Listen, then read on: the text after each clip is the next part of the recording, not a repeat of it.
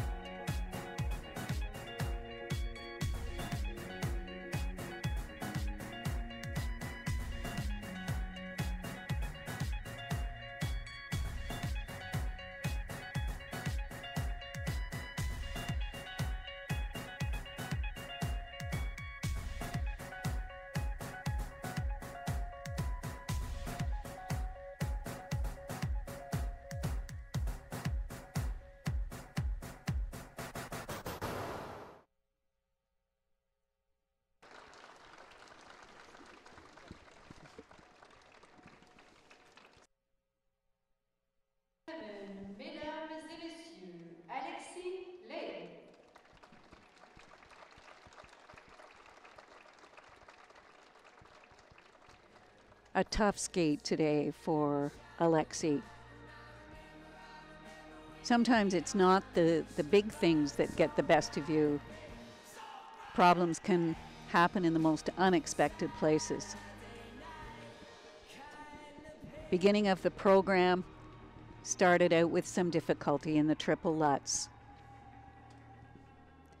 And then with jumps coming so fast and furiously in the short program, the triple flip also failed. He began to get some control and confidence coming out of the double axel. Some lovely spins, very good positions.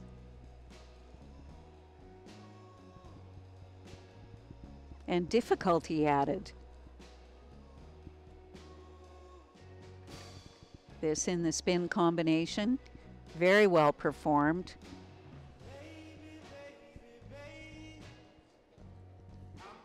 But the disappointment so obvious from such a highly energetic and great skater.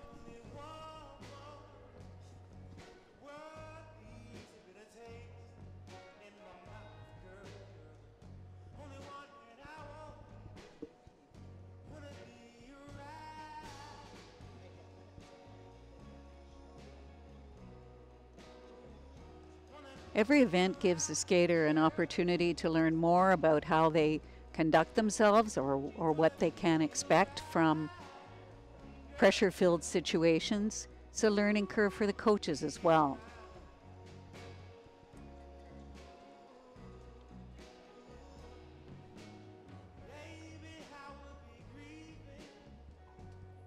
And a big gap here in the marks as the judges determine how to find the best marks possible for Alexi.